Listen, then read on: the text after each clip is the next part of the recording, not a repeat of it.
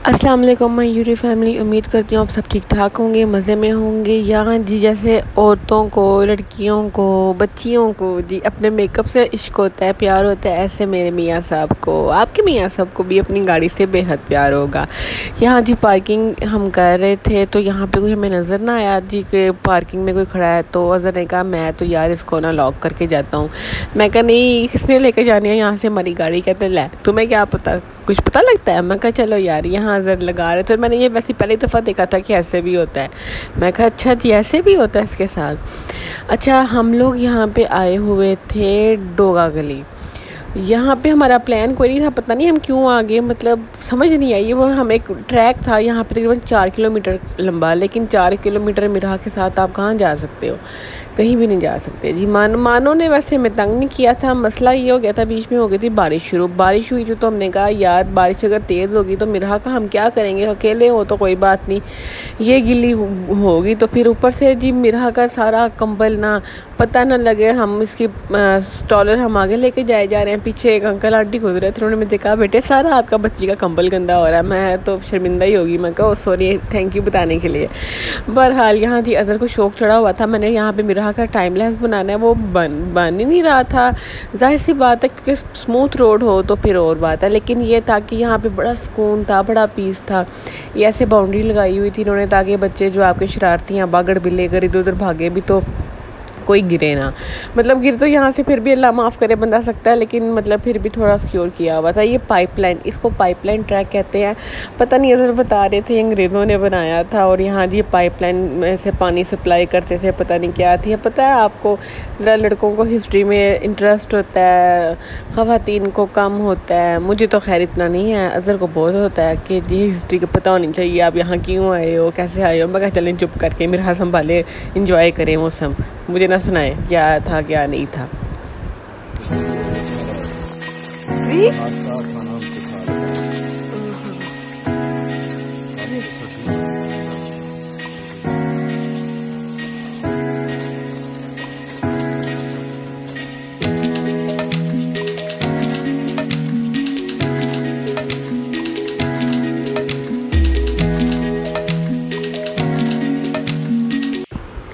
इस पॉइंट पे आके ना बारिश हल्की हल्की शुरू हो गई थी तो मैंने कहा अज़र इसके लेने से बेहतर है, क्योंकि मज़ा बहुत आ रहा था चलने का उस ट्रैक के ऊपर, लेकिन मैंने अज़र से कहा, यार, इसके लेने से बेहतर है कि ना हम वापस चलते हैं, ये ना हो, मानो गिली गुली हो जाए बाद में हमें मसला हो। यहाँ पे मैं मिरहा को लेके आ गई थी यकीन करे, इतनी चढ़ाई थी ना, सांस से सांस नहीं मिल रहा था और सबसे बड़ी बात, ये जो मोटा मैंने अपना आलू उठाया होता है ना, इसके साथ बड़ा मुश्किल होता है। अज़र सात स्टॉलर लेके आ रहे थे तो यहाँ पे हमने अपनी सारी पैकिंग शैकिंग वापस रखी, ये बारिश अभी भी हल्की हल्की हो रही थी। उसके बाद यार हमने जाना था पीसी भूरबन पीसी भूरबन का मेरा कोई इरादा नहीं था। मैंने कहा, यार अज़र वहाँ क्या करना है? पीसी अज़र ने मुझे कहा, यार, चलते हैं, मज़ा आएगा मज़ा आएगा। और यकीन करें, वहाँ जाके वाकई मज़ा आया था। अच्छा रिश्ते में ना अजर ने कहा, फिर वही वाली बात अजर ने कहा घर जाके खाना बनाएँगे। फिर हमें ग्लोरिया जी नज़र आ गया, हमने कहा, यार, एक तो ना जो हमने घर भी चीज़ें रखी हैं, वो भी वेस्ट जा रही हैं। हमने कहा, चलो, कोई बात नहीं। यहाँ जी मानो बड़े सुकून से बैठी हुई थी, बड़े शांत होके लोग आके इसको कह रहे थे, कितनी काम बेबी है आपकी। मैं कहा हाँ जी, रात को आए, आपको पता लगे कितना बड़ा भूत है ये आलू।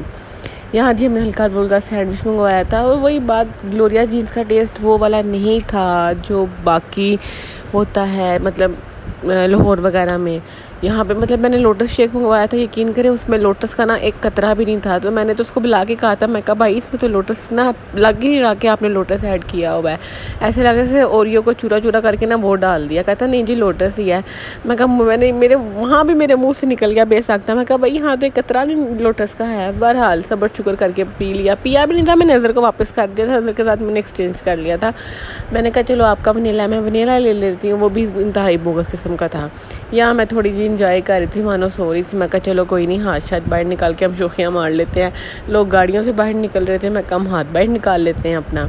यहाँ जिस पॉइंट पे हम लोग पीसी बुरबन आ गए थे पीसी बुरबन एंटर होने की फ़ीस अगर आपने विज़िट करना है विज़िट की फ़ीस जी आपकी पर पर्सन पंद्रह सौ है और उस पंद्रह सौ में मतलब जैसे मैं उधर थे तीन हज़ार इकट्ठा हुआ था। तो उसके अंदर आप वहाँ पे जो टिकट थी ना आपकी, उसके ऊपर उन्होंने वहाँ पे कैफ़े मेंशन किए हुए थे आप वहाँ से खाना भी खा सकते थे।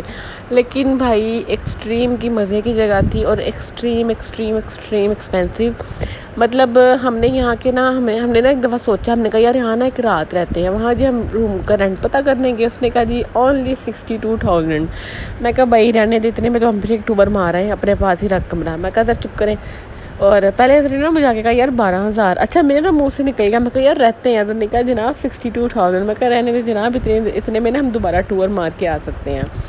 और अभी सिक्सटी टू थाउज़ेंड ये था कि जो ये वाला व्यू था ना, ये आपको बालकनी से ये नहीं मिलना था। मैं कहा, रहने दो, हम जहाँ रह रहे हैं, हम उधर ही खुश हैं, हम विज़िट करके चले जाते हैं। अच्छा यार, एक ना ऐसे चलते चलते ना यहाँ ये ट्रैक पे ना चढ़े। मैंने असर कहते, यार, फिर चढ़ाई। मैं कहा, चलो, जाके देखते हैं। लेकिन यहाँ पे कोई ऐसी क्लासिक वाइब ना लाइव क्यों था। और ऐसे छोटा सा फाउंटेन था। मतलब मुझे ये एरिया बहुत अच्छा लगा था, बड़ा पीसफुल था, लेकिन वही वाली बात कैन यू इमेजिन यहाँ पे एक सीख मतलब उसके अंदर चार टिके पच्चीस सौ के। मैं कहा, सही है, पैसे पूरे कर रहे हैं मतलब अगर इतना बड़ा इन्होंने रिजॉर्ट बनाया तो पैसे भी तो फिर इन्होंने ऐसे पूरे करने हैं। यहाँ जी फिर हम, मैं इतना रिकॉर्ड नहीं कर सकी थी, क्योंकि मेरा भी थी और ज़्यादा हम इंजॉय कर रहे थे। मैं लास्ट डे था, मैं कहा, चलो इन्जॉय करते हैं। उम्मीद है आपको वीडियो अच्छी लगी होगी। मिलते हैं नेक्स्ट वीडियो में, तब तक के लिए